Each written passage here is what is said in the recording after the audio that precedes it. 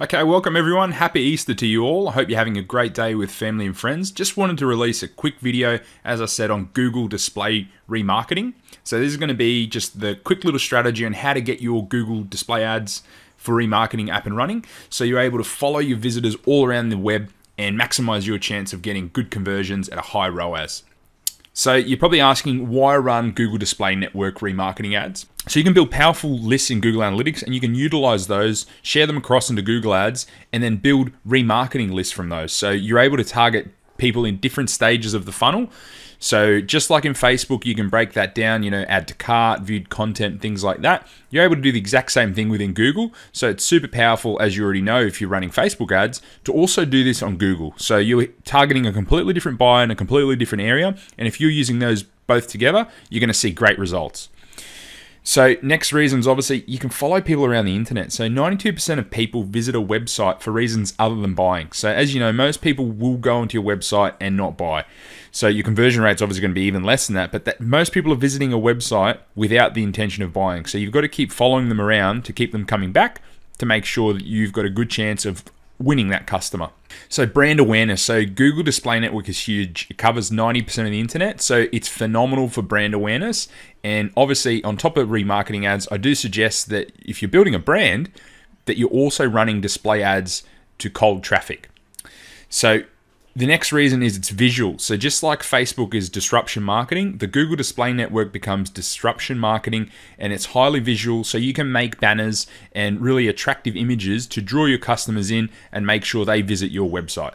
So here's just a little view of what types of Google Display ads there are. So there's text only ads, you've probably seen those. There's the Gmail ads, they're quite effective for business to business uh, products. App ads, people are using apps all the time, so those ads are really good for brand awareness. So they're not necessarily going to lead to conversions, and so that's a big part of uh, the display network. So view through conversions is something that you will want to monitor down the track, and I'll cover that off in a later video. But basically, a lot of your conversions aren't necessarily going to come directly from that ad, but what's going to happen is they're going to see the ad and they may come back later through a different avenue and buy from you. So that's definitely a metric you want to monitor down the track, but let's keep things simple. So yeah, the last thing is obviously banner ads. So that's the visual aspect that I mentioned. So what audiences can you target? So first and foremost, in the Google Display Network, go and build the audiences I showed you in the last video in Google Analytics. So things like all website visitors, cart visitors, smart lists. There's so many options in there. Play around with that. And what you're going to want to do is you're going to build. We're going to build different ad groups for different people at different stages of the funnel and different and test different audiences just like you would within Facebook. Uh, other things you can do with the Google Display Network aside from remarketing is Google builds these automatic lists that are just like lookalike audiences and they're based on the audiences you build in Google Analytics. So they can be super powerful if you want to run to, I guess, cold traffic that's slightly warmer. And the next part is you can also do cold interest based targeting. So Google's got some pretty cool demographic based data and interest. So they collect obviously a, a a lot of data. So you're able to then target people based on different interests and you can run display ads directly to those. Again, you've got that visual aspect. So really, really good. So what are the essential elements of a good, you know, Google Display Network remarketing ad? So, or just a Google Display Network ad in general. So you need a killer headline, attention grabbing image, an irresistible offer, and a clear call to action. So very, very similar to how I would run a Facebook ad. You need these four elements there to be successful. So I'm going to now show you how to build this within the Google Ads dashboard.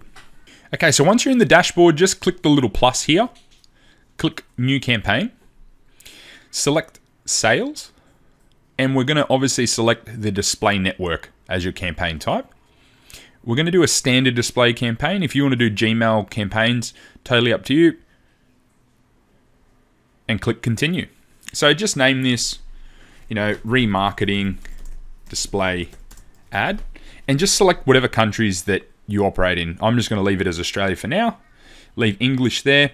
Bidding strategy. So I want to, we want to focus on conversions and let's manually set the bids. So you can down the track once you have a bit more data use automatically maximize conversions, but for now let's manually set bids. Or if you're a bit more experienced and want to select a different strategy, go for gold. The only other ones I would recommend are target CPA or target ROAS, and they're only once you have a bit more data. But let's leave it as max, uh, as manual CPC for now. The budget, the budget's going to totally depend on how much traffic you get. So I do suggest starting off with something like $5 a day. And then as you progress 10, 15, 20, 50, and so on and so forth, it's totally dependent on how many, how much traffic you get daily. Okay, so after budget, I like to go into this next section here and then go, okay, I'm going to cap the frequency. So I like to set a limit of no more than three impressions per day, just so we're not annoying people. We're getting in their face, but we're not over, we're not showing the same ad to the same people too many times. So other than that, you can totally leave the rest of this. You can get into that detail later, but I don't. There's no reason to, especially if you don't have much traffic yet. So down here, you're going to create your first ad group. So let's just do all website traffic. So this is going to be utilizing the audience that we build in Google Analytics for all our website traffic. So we're wanting those people to come back to our store and buy from us. So just in here, if you don't remember the audience, what it's called, because it isn't sometimes as it isn't overly easy, especially if it's a new account, just go 60 days website traffic, which I've got here on this store. And then on here, this is the lookalike audience that I mentioned. So it's called, they're called similar audiences. So that's used the data of this 60 days into the similar 60 days traffic. So that's a really great way of starting your Google display ads. So first starting off with remarketing, from there going to your lookalikes, and from there you can go to cold audiences if need be. So let's just select the 60 days all website traffic as our audience. So ideas are, okay, here are some different ideas based on people that have that visit our store and the people that have clicked on our ads and so on and so forth of different audiences that Google has. So this is an outdoor style store. So campers and RVs is an audience that you could target as cold traffic. But let's just stick to our remarketing for now. Uh, other thing is here you can play around with demographics, but for remarketing, let's just leave it as is. And let's select our CPC bid. For the purpose of this, let's just keep it at $1 and go from there. As you improve, you can lower that and obviously try and bring down your cost per acquisition. So if you do want to run dynamic ads, I'm not going to cover those off here, but it's just you just need to click this and then you're just going to need to set it up for that specific type of ad. But for this, let's just create an ad. We're going to create a, a blanket kind of banner ad, and I'm just going to show you how to do a real basic one. Obviously, your options are you can build your own banners or get someone to build banners if you're obviously not a graphic designer. You can just use Canva or something like that to build an attractive banner. But I recommend testing, you know, two or three different ads so you can maximize your chance of finding something that does well. Google's ad builder is very good though. So all you're going to need to do is put in your URL here. And I'm just going to, I've just selected a random camping website here. So have images and logos ready or even videos. So you can add videos to things like YouTube, uh, and which will be shown across YouTube and apps and all sorts of different things. Um, and this is going to show you here in the ad builder what it's going to look like. So I'm sure a lot of you actually haven't considered using this, but it's actually, it's kind of the best of both worlds. So you're utilizing the Google platform and use and getting features of Facebook like video and visual aspects and bringing them together. And, and that's why I say that Google's such a powerful platform. It's very cool definitely underutilized. If you jump on this, you're going to be way ahead of a lot of e-commerce stores, guys. Okay, so once you've got your URL there, we're going to put some images and logos here. So I've just uploaded some. You can actually use uh, ones based off your website here. So it's going to scan, you can scan your Facebook, Twitter, the actual website itself, or you can just upload images.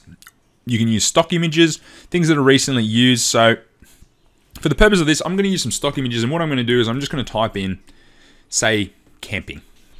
Now, this is going to scan the internet and find me some stock images that I can use here.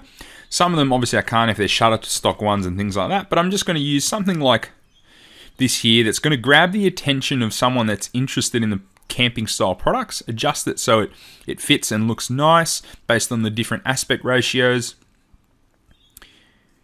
And we're going to click that and save that. Now, let's also add in a logo and I'll upload one that I've just found off the internet. But obviously upload your logo here and select it and go use images logo.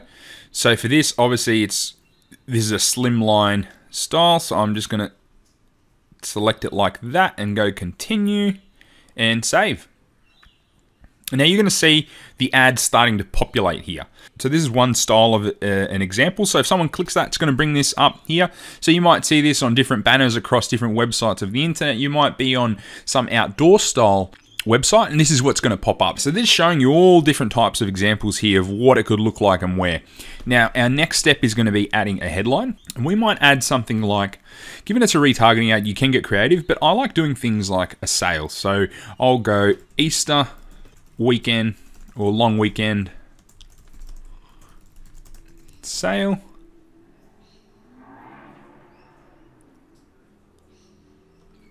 Here we'll just call it Camping World as our business name. We can go from here. Add it. You can add in up to five headlines. So you can do something like Easter sale up to 60% off. And just test a few different ones. Or you can even do things like we've missed you. Come back. So the long headline would I could would combine something like this together and go Easter long weekend sale up to 60% off. And again, you can try a few, and then from here you want to add a description as well. So, Camping World.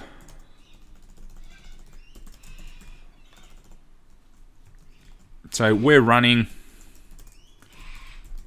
our biggest tent sale of the year. Shop now for great deals. You can just play around with that, guys. Now, if you do decide to do your own kind of image, you can obviously put an overlay here and have like a 60% off or something like that. So we've missed you come back. It's got a bit of our branding there. So you'd obviously want to add some kind of a logo as well to your imagery if you were building uh, your own banners. But something like this is very, very simple and a great way to bring customers back. Obviously, you can get a bit more creative than this. I'm just trying to show you nice and quickly what's a really easy way to get up and running. So as I said, you want to add a few different ad groups and target different parts of the audience. So you could target things like people that visited your cart page, people that visited your cart page but didn't buy, smart lists that Google comes up with, and all sorts of things. But for the purpose of this, let's just create this campaign. All right, and the campaign is done. That's all you need to do, guys. Obviously, the most important thing here are coming up with those great headlines, coming up with nice imagery. I just showed you how to quickly get up and running.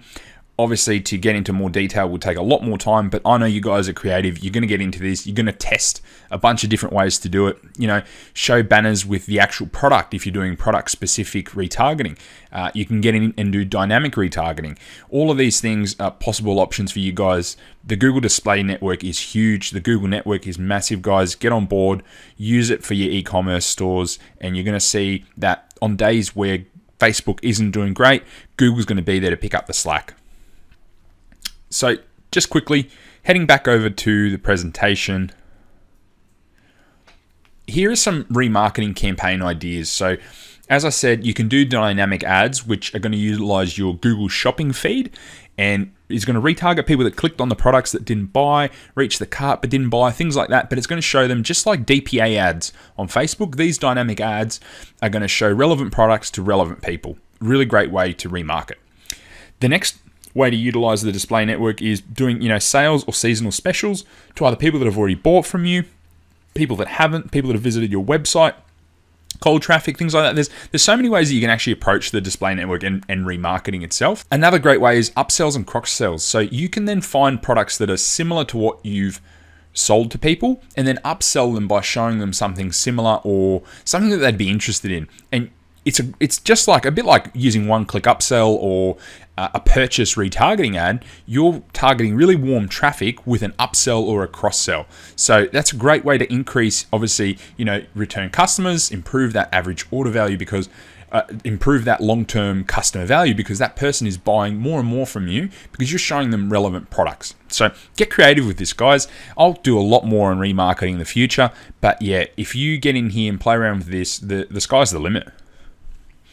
And just a quick note, if you're going to make your own banners, here are the highest converting ad sizes for Google. So the 300 by 250 is by far the best one followed by all these other ones here. So just to just keep it in mind when you're building these that these are the top confirm uh, top converting ad sizes. Okay, that's it for me, guys. I hope you have a great Easter. Please like, comment, subscribe, hit that notification bell, and join my group, guys. Lots of good content coming out there, and would love to see you there. I'm working on some really exciting stuff for you all, so tune in for the next video, guys. See you later.